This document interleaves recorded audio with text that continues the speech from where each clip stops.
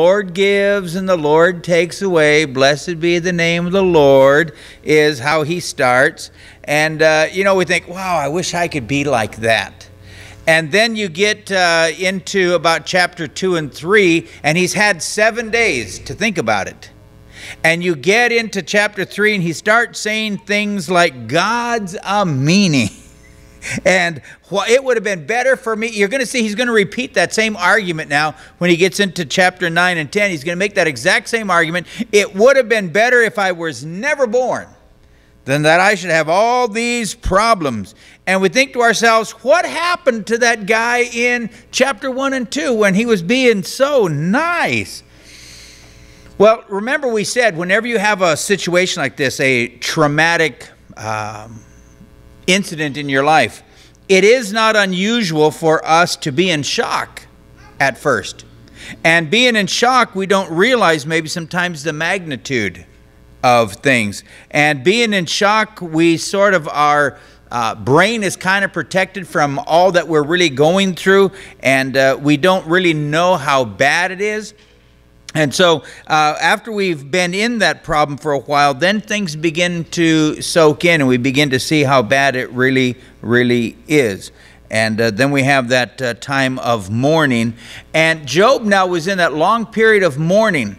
And mourning, remember, can take uh, easily up to two years. He had just lost his kids. I think when we look at Job sometimes, it's so easy for us to forget the magnitude of his problem. He lost 10 children. Now, of course, uh, we as a family uh, suffered for a moment that same thing. Uh, when uh, uh, uh, Naya was born, oh, joy to the world. And then all of a sudden, within a few minutes, they're weighing her and she stops breathing. And without saying a word to Nathaniel or to Christine, the nurses rushed the baby out of the room. And Nathaniel, how long was it? Like a half hour before you? About it. so for a half hour, he doesn't know what happened to his child. The last thing he saw was the words or heard was she's not breathing. Like Job, for that moment now, Nathaniel is, and his wife, we didn't know anything. Mom and I are just sitting in the waiting room. We don't know anything because the last we knew, Nathaniel was going in. The baby's coming, the baby's coming, and, and everything was looking good. And then all of a sudden, uh, standing there by himself. They're rushing his baby out the door saying, She's not breathing, she's not breathing. And for that half hour, Nathaniel didn't know if his little baby was alive or not. Now, we have to remember, and, and I'm sure, see, the shock of all of that hadn't quite set in, but you can imagine what terror that must have been for Uncle Nano and for Auntie Christine to think that they just lost that baby. Now, Job is going through that, and he's been going through that now for over seven days. He has lost his children, all ten of them. And he has got to be absolutely devastated. Unless you've been a parent and unless you've lost a child, I think you cannot even begin to comprehend the depth of this man's sorrows. And uh, so, of course, he's there. He's at the city dump. Some of his friends have begun to gather around him. For seven days, his friends, the most wisdom they ever showed was for seven days they said absolutely nothing. But of course, after seven days, all they did was weep with him and sit there with him. He's at the city dump. They stayed at the city dump. He was pouring ashes over his body. They poured ashes over their body. And uh, they tried to uh, emulate or simulate uh, what he was going through best they could. Finally, we remember in chapter 3, at the end of his seven days, he began to complain. And after he complained, one of his friends stood up and said, Let me explain why you don't have a reason to complain. and then he argued with that friend. And that took us through uh, chapter 6 and 7 uh, last week. And so now we're into chapter 8. And another friend, and uh, for those of you who love your Uncle Bill, this is one of his favorite jokes. Who's the shortest man in the Bible? Bildad the Shuhite. And here we have in chapter 8 in the beginning. Then answered Bildad the Shuhite, The, of course, then his second sponsor was, well, there was a man shorter than that. If you remember the Philippian jailer who slept on his watch. so, as an ode to your Uncle Bill, I give you those jokes. And uh, so here we have Bildad the Shuhite now. He is a picture, really, of uh, what we would call a dogmatic person. A dogmatic person is a person who knows he's always right. Uh, the dogmatic person is the person who says, This is the way it's done. And he's going to argue his dogmatism, if you would, from a standpoint of tradition. He's going to say, Look back, look at your past, look at your relatives, look at history, and history will teach us certain things. And so his dogmatism is, and it's the same argument throughout the whole thing. The same thing that his last friend Eliud said was, Job, you need to repent. And Job says, I got nothing to repent of. I did nothing wrong.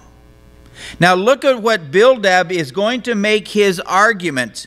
He begins by saying to uh, uh, um, Job here in chapter 8, How long Will you speak these things? Looking back, remember, uh, he has gone all the way through chapter 6 and 7 making his argument. And so he finally says, after this two chapters of argument, why, he said, when are you going to stop talking like this? How long are you going to speak these words? They are the words like a strong wind. Um, your words are a blustering wind, is the way I put it up there. You know, you're just a bag of hot air. Is what now? What kind of a friend? Here, this man has just lost his wife, or his kids, not his wife. Lost his kids, lost his house, lost his money, lost everything, and he's complaining about God. And Bildad says, I got to tell you something. You're just a hot bag of wind. How long are you going to keep talking like this? Because again, you are perverting judgment, the justice of the Almighty, he says. He is going to make the same argument that everybody else so far has made. He's going to say to Job, All you need to do is repent and let God restore. Repent and let God restore. Confess your sins. In the first uh, seven verses, what he was saying.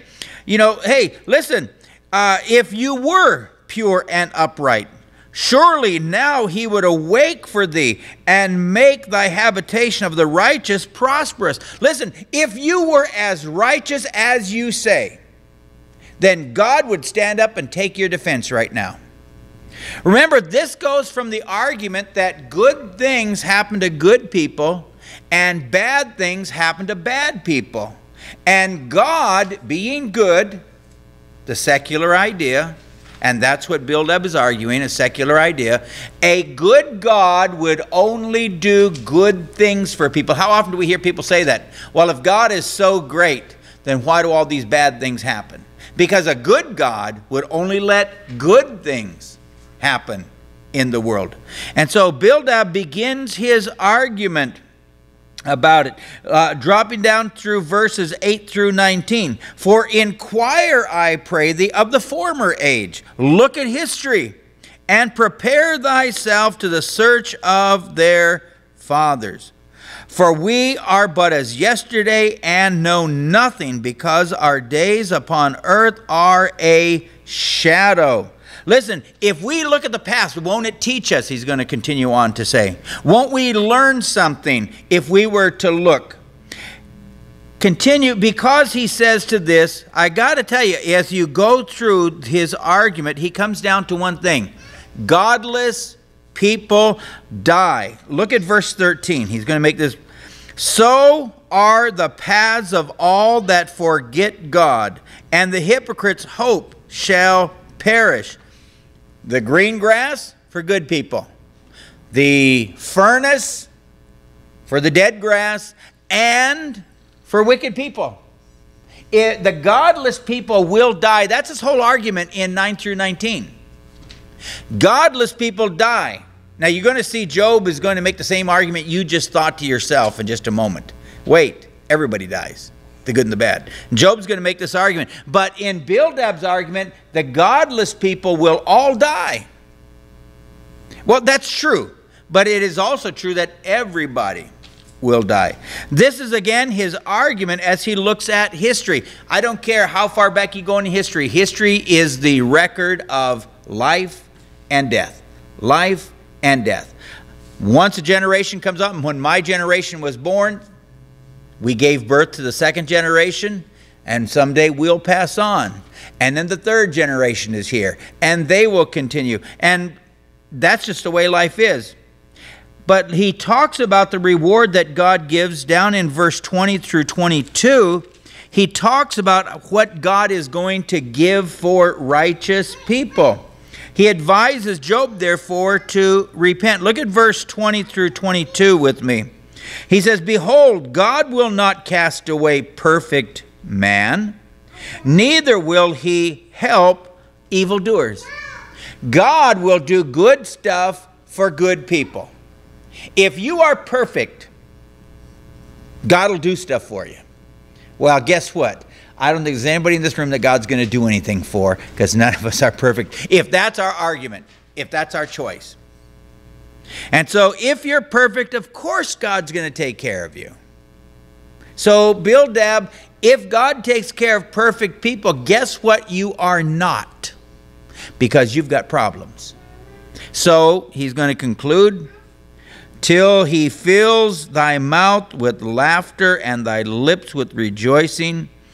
They that hate thee shall be clothed with shame, and the dwelling place of the wicked shall come to naught. Listen, God takes care. You know, if you're a good guy, your life is going to be one of joy and laughter, and everybody's going to look at you and say, Wow, what a wonderful life that guy had. He did nothing but enjoy his life, he had fun all the way through it. But if you got some sin in your life, whoa, you ought to expect some trouble. And, and our concern is we so often think these same thoughts. When something bad happens in our life, the first thing we say to ourselves is, Oh, God's mad at me because I must have done something. And the truth of the matter is, if that were true, God's always mad at us because we've always done something. But the Bible promises that our sins are washed away through the blood of Jesus Christ. So Bildad now has made his argument Joe, you're a big bag of wind. The godless are going to die, and God's going to reward the righteous. So therefore, repent and turn to God. But Job's going to make his own argument here in just a second. He's going to argue, first of all, and this, I think, the whole purpose for the book of Job comes down to number three. I think Job, remember, you go through the problems you go through never for yourself. You always go through problems for the sake of someone else the things that I have suffered in my life, and Michael alluded to this on Sunday, was so that this generation or this group of people or my children would learn from my mistakes, or they would learn from my problems and how dad overcame them. We look back and we say, well, how did grandma overcome? How did grandpa overcome? How did dad overcome? And we take a look at those things and we realize that we can walk this path. But Job's got some arguments of his own. He says to his friend, Here's my first problem. And uh, he going to answer it. Take a look at uh, chapter 9 and look at verses 2 and 3. Job answers and says, I know it is true, but how should a man be just with God? See, he's asking good questions, and every one of these Jesus is going to answer. He will contend with him.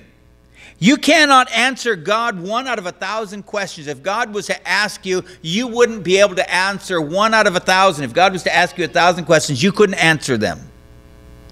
Why? Because we don't understand like He does. So he comes up with, first of all, how can a mortal man argue with an immortal God? You can't argue with God because you don't have His mind. God's got us on an unfair advantage. If my granddaughters, very pretty as they are, wanted to argue with grandpa, I'll guarantee I could win every single argument with them. Because grandpa is old. And grandpa has argued a lot in his life. So I could probably, on an argumentative base, beat my granddaughters. Now, my grandsons back there, I don't know, they're all smart and intelligent and grown up and old already. They could probably whittle me down after a while. But I could probably hold, I tell you, Cody's don't stand a chance. I could beat her in an argument, hands down, just like that. And that's what Job is saying. If you were to take this child and compare her intellect, if you would, to mine, you'd say, well, it's an easy defeat. And Job says, well, how can I argue with God? God is infinitely wise.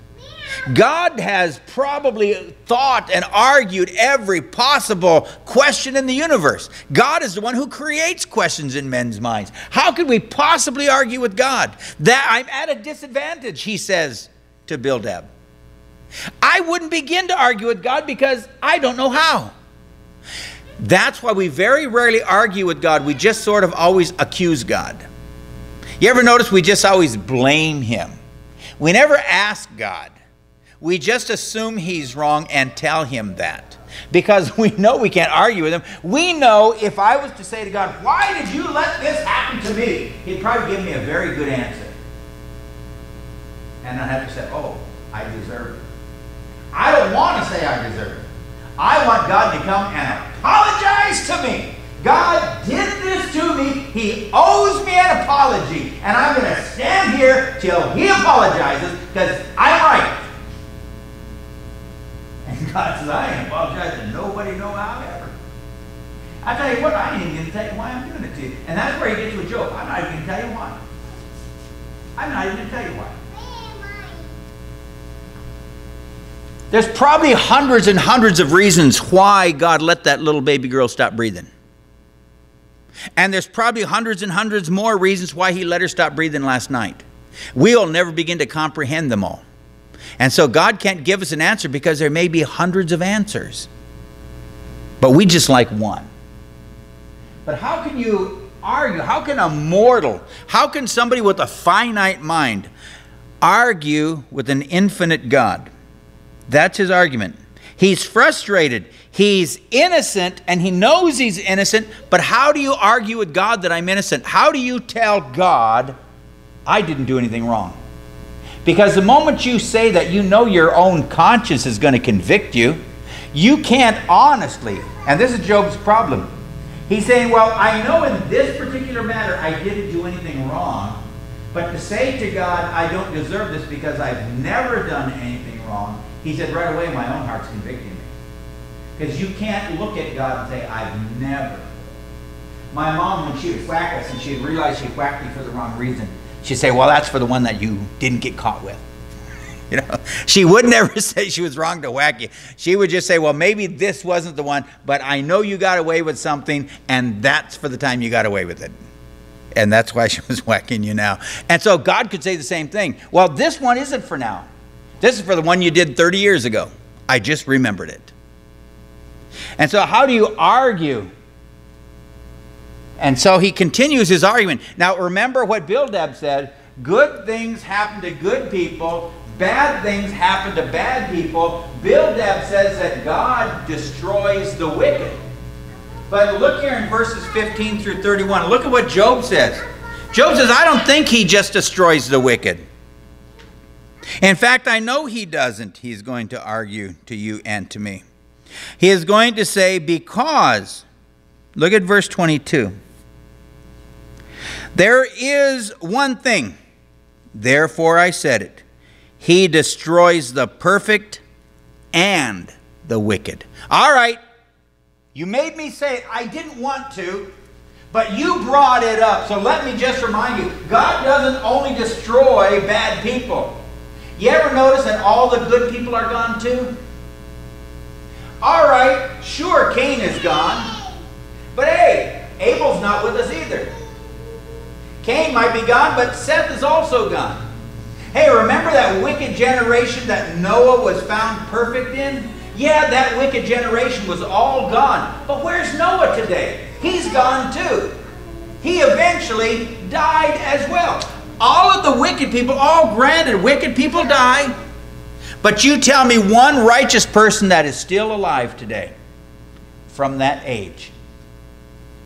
Methuselah, longest living man, but where is he today? He's in the ground. You go back through Genesis, and everybody's life, so and so begat, so and so begat, so and so begat, and then it always ends with, and he died, and he died, and he died. So, yes, God destroys the wicked, but he also destroys the just. So, I can't argue with God because here's a God who will take out good and bad the same way. He don't care. You think everybody was as evil as everybody else in the flood? Maybe there were some people who did small sins and some people did big sins, but God took out everybody. And so this is his argument here. God destroys both the good and the bad. But he's going to continue to you and to me. And look at verse 33. When you get down to 32 to 35, I think you hit the whole thing. Job says, if only, if only there were a mediator. That word mediator there in the Hebrew, of course, is the word umpire. Somebody who can put his hands on both parties. Now, when you get to the New Testament, here's the joy of the New Testament. 1 John chapter 2, verse 1, there is a mediator Jesus Christ the righteous. You go to 1 Timothy chapter 2, and I think it's verse 5. Paul plainly declares there is one mediator between God and man, the man Christ Jesus. We are in a much better situation than Job was because Job didn't have a mediator. See, you and I, it's hard for us to understand what these Old Testament saints went through because they didn't know God like Peter. they didn't have the opportunity. It just, everything to them was a mystery. When you read, you look at their lives, and their lives are so physical. All of their prayers are about this life. They're all about give me money, give me money, give me longer lives, give me money. You get to the New Testament, and Paul says, when you pray, pray like this Lord, build your church. Lord, keep us brave. Lord, don't let us quit just because persecution is coming. Nobody asks for money in the New Testament. Nobody asks for longer life in the New Testament. They ask, Lord, don't let me quit. Don't let me quit. Don't let me quit. Lord, keep the church going. Lord, we're facing persecution. Help us to stay strong. Help us to stay strong. They never say, Lord, sure it'd be nice if you gave me a $100. You don't read it. You don't read it we have an advantage. We've got a mediator. Job says, If only I had somebody who could argue with God. Now, here's. If you're going to argue with God, who do you have to be to argue with God? You have to be God. Because you have to have somebody who is equally, in order to be a mediator, in order to be an umpire, you've got to be able to equally agree with this person and this person. An umpire in a game is not supposed to be biased. You can't go in there and say, oh boy, I'm doing the Bengals and the Tigers game, and I sure hope the Tigers win. You can't, see, you can't go in and say, like, okay, uh, Rams are playing Green Bay, and as the umpire, I'm thinking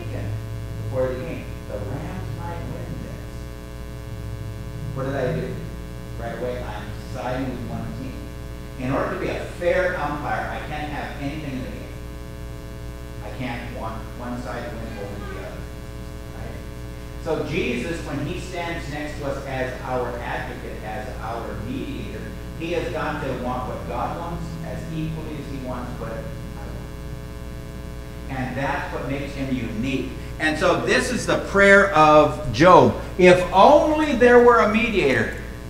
And Jesus comes on the scene and says, guess what? I am your advocate with the Father. I will stand in your place. And so you go to John chapter 17, the great high priestly prayer where he's in the garden and he's praying for you and for me. Read John chapter 17, where Jesus specifically prays for you. And it's quite amazing. He prays not only for us as individuals, but for our church as well. And that's where I put my rest. If only Job says there was a mediator. And of course, Jesus comes back and says, Guess what? So I'm glad Job thought that thought because it's written down. And guess what? You and I can point to it now and say, We do. We do. Look at chapter 10, though. He continues his argument. And he begins to say, and this again, we've seen this before. Look at verse 2. And I would say to God, if I had a mediator, if I had somebody who could take me into God's throne room and stand there with me so God wouldn't kill me, somebody who could defend me from God, somebody who could protect me, I would say to God, Don't condemn me. Show me where thou contend with me. Show me why you're doing this to me. Show me why you think I deserve this. if I had a mediator, I'd go to God and say, Why are you picking on me? And make God answer me. See, that's what we do with a lawyer. We take our lawyer and the lawyer, we say, Okay, let's ask him this uh, tough, tough question. Why are you treating me so terribly? Of all the people in the world, I'm probably one of the good guys. There are a bunch of bad people in the world. I mean, I live here in Ontario. I'm supposing there's 107,000 people or 170,000 people in our city. Of 170,000, probably 160,000 of them are worse than me. So why has God got to pick on me? What did I do wrong? Go pick on real bad people. Aren't there real bad people in the world? Aren't there murderers? Aren't there terrorists? Aren't there gangsters? Aren't there all those bad people? Can't God go and pick on them for a change? Why me? Why has God got to pick on my little white car when there's all these other white cars out there that he can be picking on? If I had an advocate, that's what I'd go and ask God. That's what Job is saying here. But I think if you had a real good lawyer, he'd probably say to you, you know, that's not a real good question to ask because you're guilty. It's like the, the fellow who said, God, give me justice. God, give me justice. God, give me justice. And somebody else in the congregation stood up and prayed, Lord, don't give us justice. Give us mercy. Give us mercy. See, at the cross, I didn't get justice. At the cross, I got mercy. And let me tell you, mercy helped me a whole lot more than justice. If I had gotten justice, I'd be burning in hell today because I'm a sinner. But I'm sure glad that mercy is what was poured out on the cross. I'm glad Jesus said, Father, forgive Terry, for he doesn't even know what he's doing. Hey, temporary insanity, I'll take that plea. I don't know. I haven't the mental acuity. I don't have the spiritual awareness. I don't know God the way I should. And so I didn't understand that my sin was wrong at that particular point. But as I have studied and read the Bible, of course, now I am more guilty than ever before because I know better. And I'm still just as lousy a person as I was to begin with. And then he moves on, as we've seen before, to his pity party. Lord, why did you create me? Did you make me just to condemn me? You created David said, I am fearfully and wonderfully made. Why did you make me? Just so you could pick on me? Did you have nothing else to do with all the people in the world? There are billions of people in this world. You had to specifically make me just so you could pick on me? You couldn't make other people to pick on and love me. You had to make me just so you could condemn me. Why did you do that, God? Why did you make me just to kill me? Of course, you know, God in his argument, and Jesus in his argument, made it very plain that God created the Pharaoh only to prove his power. So God does have a right. Remember the potter and the clay? Does the clay have the right to say to the potter, Why made me thus? Paul would argue. See, Paul has probably read Job because Paul went through a lot of problems his own. Shipwrecked this many times. When you read Paul's life, he's always saying, God picked on me a lot. A lot. I was shipwrecked more than anybody else. I was beaten with stripes more than anybody else. I was persecuted. I was this. I was beaten. I was that. I was robbed. I, you name it. Paul said, and I had that problem. So Paul could say this. But then Paul adds in there that God made the Pharaoh just to show his power. And then he says, You know what? God discovered that in my weakness, I am made strong. He concludes verses 18 through 22 of chapter 10 with the same argument he started with. It would have been better if I was never born. If God made me just to pick on me, and let me tell you, God has the resources to pick on you. You think God's picked on you, you don't know the beginning of being picked on because God could always make it worse. I don't care how bad you think God has picked on you, He could always up the ante. He could always make it worse. When I was a young man in the Navy, I thought God could pick on me then, but He couldn't. Once I became a dad, then I found out that God could touch my children. And then when I got older, I became a grandparent. I realized that now that God could reach down and touch my grandkids. See, God lets you grow and grow and grow. And really, if that were true, if He created me just to condemn me, He keeps letting us live just so He's got more stuff to take away. We got more reason to fear Him. Except, except, we got all those promises that Jesus one thing Job didn't have, if only I had a mediator. Somebody who could stand next to me and be God's equal. And keep God, as it were, off my back. And so we have the blood of Jesus, which washed away all our sins. And so that when the Father sees me and sees my wickedness, he doesn't look at that. He sees instead in me Jesus Christ. Jesus, who is for me the hope of glory. And so when the Father sees me, he only sees his perfect Son.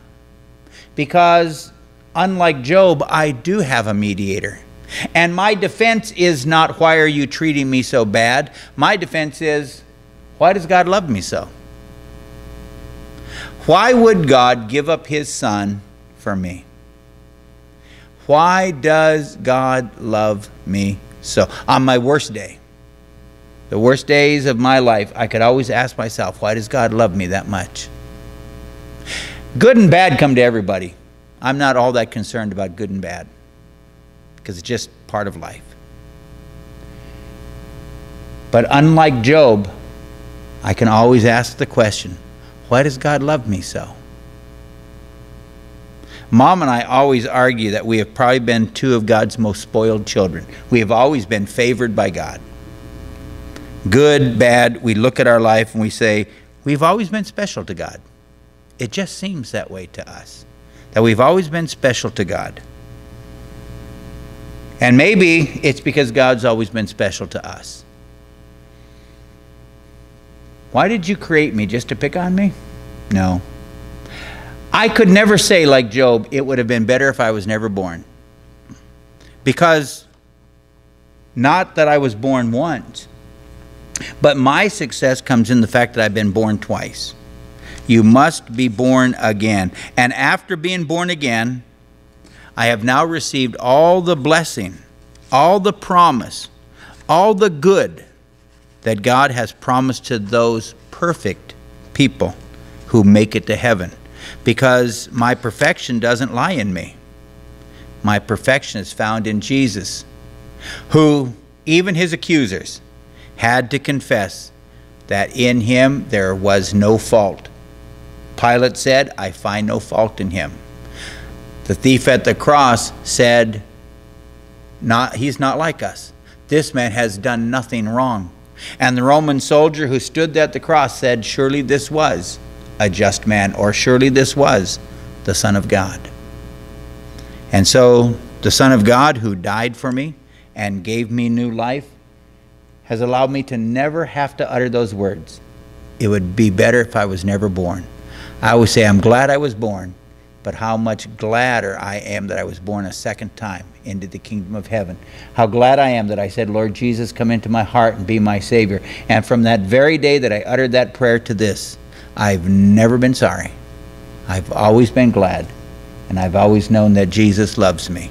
And that's something Job did not know. And too bad. I feel sorry for him because he couldn't know what you and I get to know that Jesus loves us all the time. Let's pray. Father, thank you for this chance to look at Job's life. And Father, to look at what he prayed for a mediator. And Father, to know that we have that mediator. Our Lord Jesus is our mediator. He stands before you, He stands with us. And He says, Father, look at my blood. I've paid for that sin. Look at my blood and answer that prayer. Look at my blood and give them what they have need of. And so, Father, we have a mediator and we say thank you for it. Thank you, Father, for your mercy, your grace, and your love. Thank you for your Son, Jesus, who died on the cross for us. In his holy name we pray, thanking you. Amen. All right. Well, thank you all for being here tonight. Appreciate you coming out. And uh, trust those girls will sing for us on Sunday morning. That's right. All right.